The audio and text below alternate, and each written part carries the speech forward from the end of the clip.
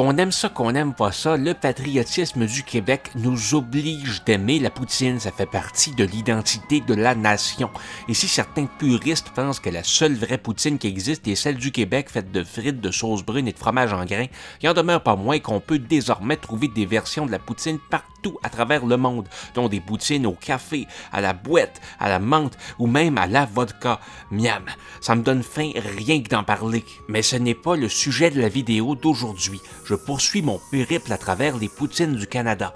Dans la précédente épisode de cette série, j'ai goûté à des poutines de l'Ontario, du Manitoba et de la Saskatchewan.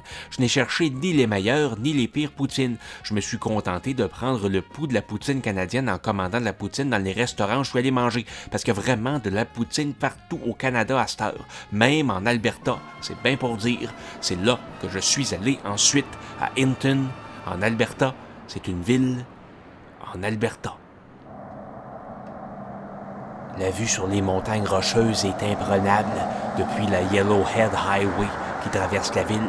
Je pourrais passer la journée entière à regarder les montagnes ainsi que les pick-up et les camions qui passent sur la route. Je trouve ça tellement relaxant. Je me demande combien de milliards de dollars ont été dépensés pour construire ces montagnes-là. Ça a dû coûter cher, vraiment très cher, trop cher même, je dirais. Penser à des grosses sommes d'argent, ça me donne faim.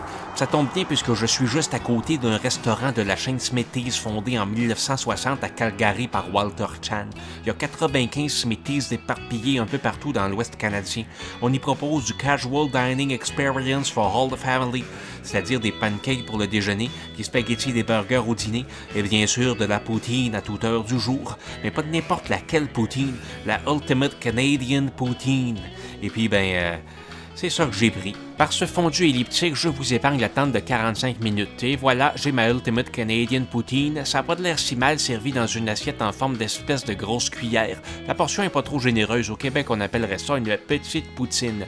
J'y vais du bout de la fourchette en commençant par une frite avec un peu de sauce et un peu de fromage. Si ça c'est correct, la poutine passe le test et mérite d'être mangée. Jamais été un fan de ça, le bacon, sa poutine, des espèces de petites échalotes d'affaires d'oignons, je sais pas quoi. Ça fait un peu trop fancy à mon goût. Au moins, la sauce a une bonne texture et une belle couleur. Puis il y a beaucoup de frites dans le fond de l'assiette qui semblent pas avoir été touchées par la sauce et le fromage. Ce qui fait qu'en prenant une grosse bouchée, le mélange des frites ramollies par la sauce et des frites encore un peu croustillantes rend ça pas pire intéressant, je dirais, plus que je l'aurais pensé pour une poutine mangée si près des montagnes rocheuses. Même pas pendant une fraction de seconde j'aurais pu oublier les neiges éternelles sous lesquelles dormaient de si gros tas de roches, parce qu'avec cette poutine-là, je suis en plein territoire de la poutine canadienne, surtout de par le nom qu'on lui a donné sur le menu. Si ça s'était appelé poutine à la québécoise, ça aurait influencé ma façon d'y goûter, et j'aurais trouvé la présence de bacon tout à fait inacceptable, tandis que là, mis à part pour l'animal mis à mort pour l'obtenir, ça me dérangeait pas tant que ça d'un point de vue gustativement parlant. Somme toute, j'étais plutôt satisfait de mon repas parce que j'avais très faim au moment de le manger. Et comme je l'ai souvent dit, plus que pour tout autre plat, avoir faim est un facteur très important pour l'appréciation d'une poutine, qu'elle soit bonne, mauvaise ou moyenne. Je suis aussi très content de m'être arrêté chez Smithies. J'ai l'impression d'avoir pris une bouchée de l'Alberta. Et puis, c'est pas désagréable comme impression, moins pétrolifère que je l'imaginais. Donc, l'Alberta coché, c'est le moment de passer par-dessus les montagnes et la vallée de l'Okanagan et encore des montagnes pour s'arrêter dans des basses terres continentales de la province de la Colombie-Britannique à Vancouver. Nous voici à l'angle des rues de Cambie et de Water Street dans l'attente du sifflet de 2 heures de l'après-midi de l'horloge à vapeur du vieux quartier de Gastown.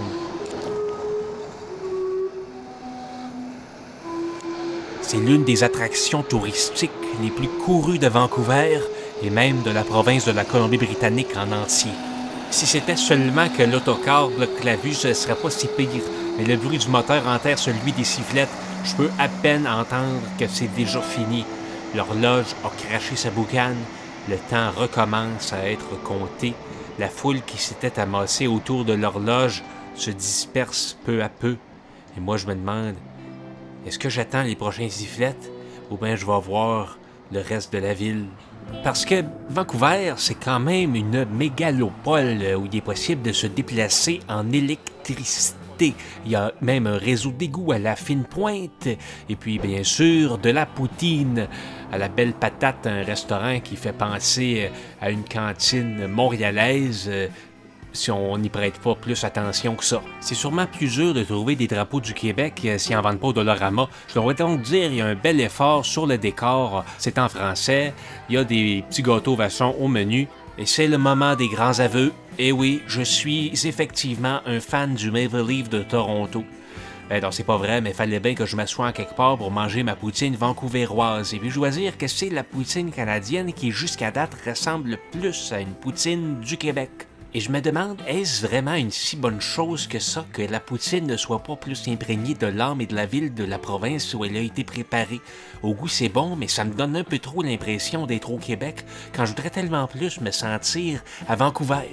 En prenant cette frite-là, j'ai réalisé que mon corps m'envoyait le signal que je n'avais pas faim. Manger une poutine sans avoir faim, c'est pire que tout, c'est presque de la torture. J'ai préféré laisser ça là pour pas risquer de m'en dégoûter à tout jamais. J'ai mangé cinq poutines en une dizaine de jours à peine, alors que je mange presque jamais ça dans ma vie tous les jours. Puis il me reste encore beaucoup de poutines canadiennes à goûter. Il faut que je me garde de la place. C'est loin d'être terminé cette histoire-là. Il me reste toutes les provinces des maritimes à aller goûter leur poutine. Ça doit tout être des poutines au homard. J'aurais juste à leur dire de pas mettre de homard dedans. Et les territoires, en commençant par le Yukon, vers où je m'envole à bord de cet hydravion pour aller goûter à la poutine saupoudrée de pépites d'or de Dawson City. À bientôt dans le volume 3 des poutines canadiennes. Ce n'est qu'un au revoir.